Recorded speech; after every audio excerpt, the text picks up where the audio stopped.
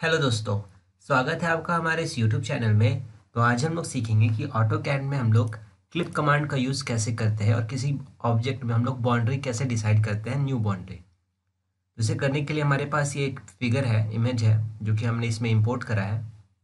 और इसमें clip command का यूज़ कैसे करते हैं, वो देखते हैं, चलिए। तो इसे करने के लिए सबसे पहले आपने इंसर्ट ऑप्शन में क्लिक करना है और इस रेफरेंस ग्रुप में अटैच के बगल में सेकेंड ऑप्शन आपको दिखेगा क्लिप अब आपने कर्सर को वहाँ पे रखोगे तो यहाँ पे कह रहा है clip a block externally referenced file और view to a specified boundary click करेंगे और ऑब्जेक्ट को सेलेक्ट करूँगा मैं यहाँ पे और न्यू बाउंड्री में सेलेक्ट करूँगा। उसके बाद डिलीट ओल्ड बाउंड्री यस में क्लिक करूँगा और अब हम लोग को बाउंड्री सेलेक्ट करना है। मैं सेलेक्ट करूँगा इसका हाफ़ और क्लिक करने के बाद ही ये ओल्ड बाउंड्री डिलीट हो जाएगा और ये हमारा आ गया न्यू बाउंड्री अब इसे एडिट कर सकते हैं आप। नॉर्मल इमेज की तरह यहाँ पे ब्राइटनेस बढ़ा सकते हैं कॉन्ट्रास्ट डिग्रीज इंक्रीज कर सकते हैं बैकग्राउंड रिमूव कर सकते हैं हाइड या शो कर सकते हैं।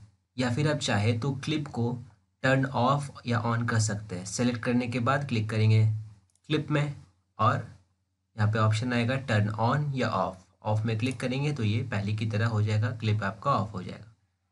इस तरीके से आप क्लिप का यूज़ कर सकते हो ऑटो कैड में।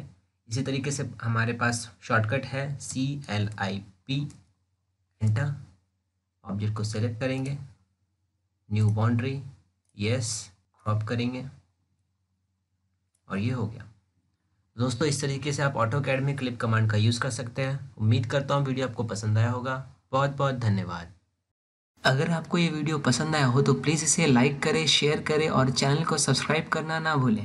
Complete basic to advance Excel tutorial के लिए डिस्क्रिप्शन ज़रूर चेक करें और इसी तरह बहुत सारे सॉफ्टवेयर कोर्सेज के लिए हमारे वेबसाइट महागुरुज डॉट कॉम पर विज़िट करें। Thank you.